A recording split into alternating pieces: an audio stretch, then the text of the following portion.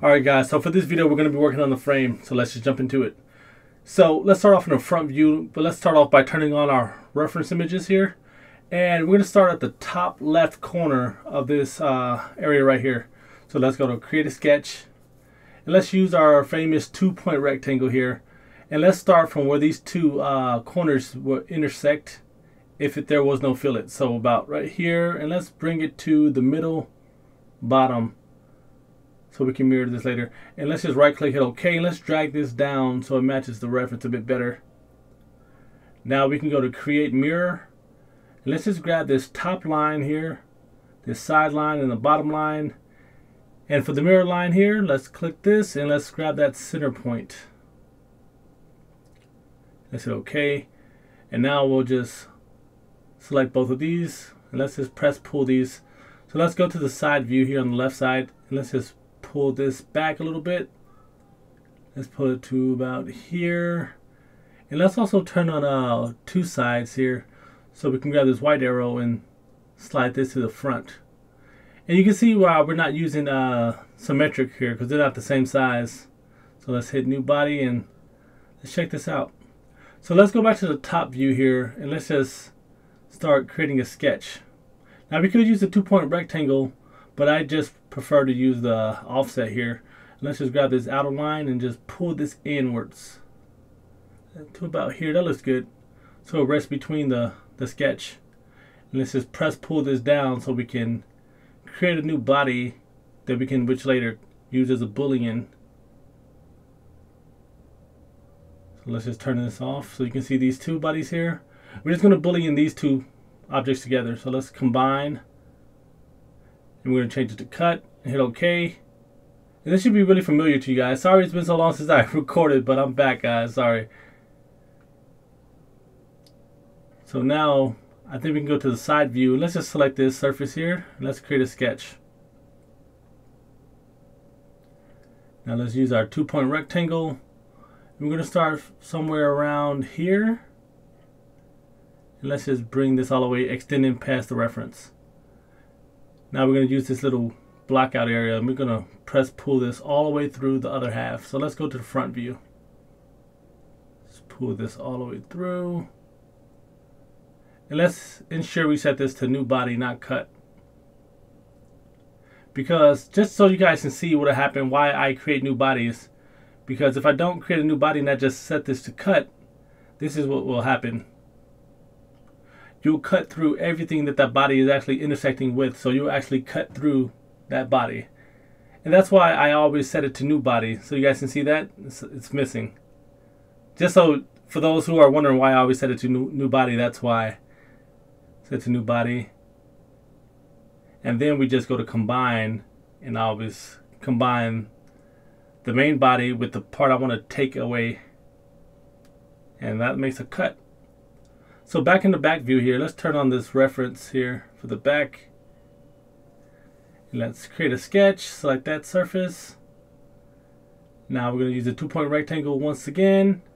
And somewhere around here, just so this has a little area so it looks like it's manufactured. So it has a nice placement. So let's go to the center line here. Once we're satisfied, we're going to right click it OK. Let's set another mirror. So grab the top, the side and the bottom. And for that mirror line, always that center point. Now we can left click and hold till we get to the profile selection. And we'll just repeat that. Now we can press pull these both together so it intersects through the top area. Let's set this to new body. And now you guys understand why I'm combining these instead of just cutting through.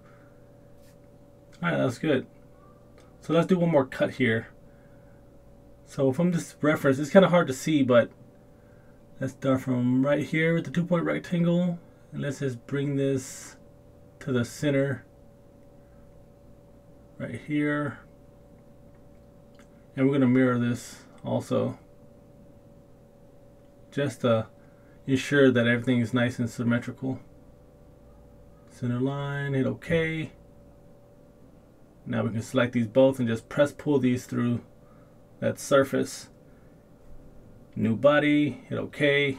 Now let's combine these to get that nice cutout there. Now that matches reference. Now let's work on this bottom. So here in the front view, guys, let's create another sketch. So from this top left corner where, if that fillet wasn't there, well, where that corner would be. We go all the way here to the bottom right. I could also went to the center just to ensure that it's symmetrical, but I'll just, I'll eye this.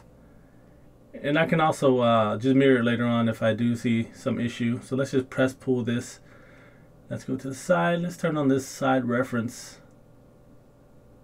Let's pull this forward. And let's also set it from one side to two sides. And we'll just pull this back. And it doesn't matter which one, which arrow, which way you pull the arrow, because you still have the option of changing them separately. Now we have this, go in the front view. Let's create another sketch here. And let's just create another two point rectangle. that goes from this corner to the center. And what I'll do is just mirror this. And everything I said, like I said in the last video, guys, it's really, uh, it's just repetition. You're doing the same thing over and over. So it builds that muscle memory. And there's a million other ways you can go about doing this. You don't have to follow my exact method, but it's just simpler. In my opinion. I'm going to combine this. I'm just going to cut this. Oh, I didn't select that. Let me go back and select this.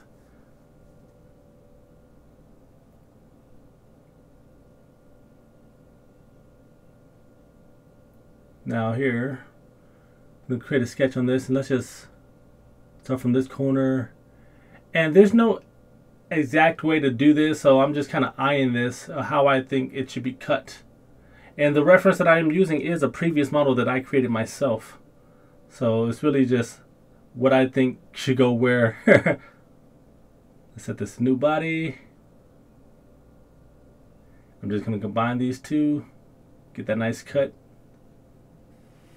And we're making great time here. Let's just throw a couple of materials on here. So don't forget the hotkey for that is A, guys, to bring up the materials. I'm just dragging and dropping. Now we can start adding some fillets in some of the corners where they belong. But I will chamfer this to get that sharp corner here, like to match the, the inside body. Now we can hit F on the keyboard to bring up fillet, and we can just fillet these corners here. Let's fillet these as well. Let's rotate around the back, see if we can grab this. Yeah, let's just push this to about here. That looks good. Let's fillet the top as well. So hit F again, and we'll just grab these center corners, these interior corners here.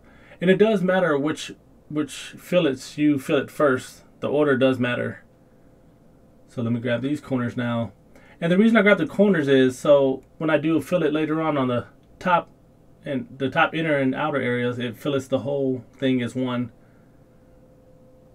So now if I hit F once again, I can fillet these all together and create that giant roundness. You see? And let's just fill fillet the bottom and any other areas as well because like we know in real life, nothing is 100% sharp no matter how sharp it looks. It adds to better realism where there's a little rounds off, rounded off edges. So that pretty much wraps up this video, guys. I'll catch you guys in the next one.